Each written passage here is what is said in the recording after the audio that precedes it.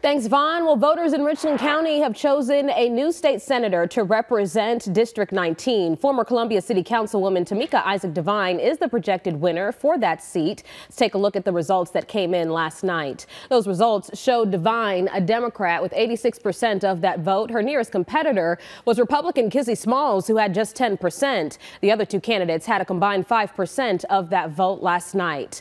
Now, Devine will be the successor of the seat after the passing of late Senator John Scott last August. She previously served on city council for 20 years and was the first African American female to serve on the Columbia City Council. She was also the first African American to be elected as an at-large member. She spoke to WIS last night about what she plans to do in her new role.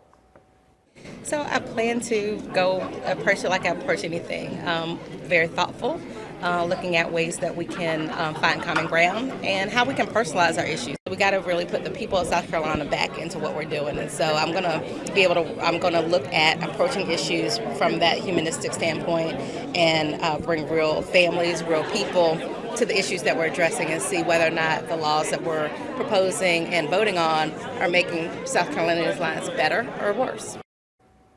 She said her other main focus will be on combating gun violence and prioritizing education in the district.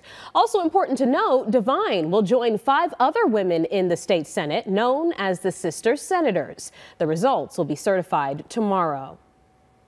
And after those results came in last night, Devine took to social media to announce her excitement. In a tweet, she wrote, quote, thank you, District 19. I'm honored to represent you and will work every single day to make you proud that I am your